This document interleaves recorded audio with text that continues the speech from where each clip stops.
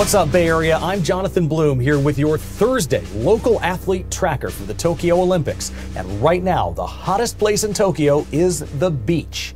They are the A team in every sense of the word. And now Alix and April are headed to the gold medal match. They won the semifinals against Switzerland in just over 45 minutes on a sweltering day with the sand reaching 111 degrees Fahrenheit. Turns out they've been training for this, practicing in Orlando to get used to the heat and humidity. The Bay Area's own Stanford grad Alix Klineman will play for gold in primetime Thursday at 7:30 p.m. on NBC. Also headed to the gold medal game, men's basketball. The Warriors' Draymond Green and Oakland native Damian Lillard on the team that came from behind to beat the Australians 97 to 78. This game was closer than the score. Team USA was trailing for the whole first half, but they came back in the third quarter with Kevin Durant leading the way. And though he's not a Warrior anymore, Warriors coach Steve Kerr, who's there as assistant coach in Tokyo, has plenty to say about KD. He's the most talented basketball player on earth. Uh, if not of all time. You played with Michael Jordan, and, and, and I know. KD's I know. Right I think there. he's more gifted. I really do. I mean, 6'11 with guard skills, unlimited three point range. Kevin is a different, entirely uh, different breed. It's just stunning. Women's indoor volleyball is inching closer to the medal matches with Bay Area three time Olympian Foluke Akinradewo Gunderson on the team.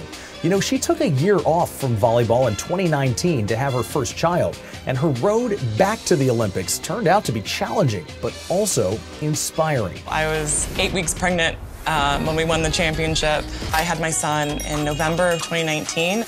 Developed diastasis from that. It was like a hole in my stomach.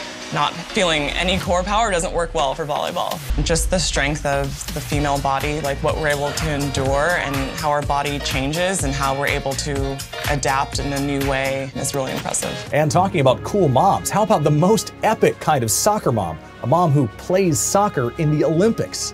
Alex Morgan, who went to UC Berkeley, one of six Bay Area players on the team competing for the bronze medal in the middle of the night against Australia. The replay at 10:30 p.m. on NBC Sportsnet. Morgan said she's been missing her daughter during these Olympics. One thing she's grateful for, USA Soccer pays for nannies whenever the players travel. I do feel supported, which helps me just be able to focus on playing soccer like when I step on the field. I feel like nowadays you know, we're able to embrace being a mom and being a working mom. Also playing overnight, the U.S. baseball team, including two Bay Area players, in the semifinals against South Korea. You can watch the replay on NBCOlympics.com.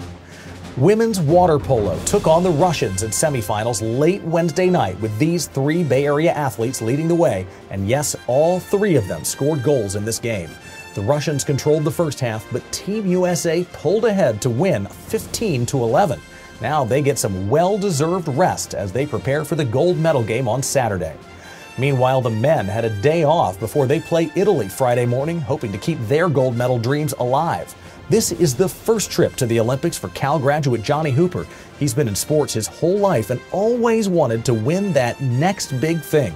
Right now, this is it. You know, I'm living in the present. I want to win if it's a 12 and under championship. Okay, I want to win that. I want to win a high school Division One championship. Okay, did that. I want to win a college Division One national championship. Okay, did that. All right, what's the next thing? Let's go get a, a gold medal at the Olympics. It is down to the wire and the excitement is building. Check out our local athlete tracker blog for all the latest results as the Bay Area quest for Olympic glory reaches a fever pitch in Tokyo.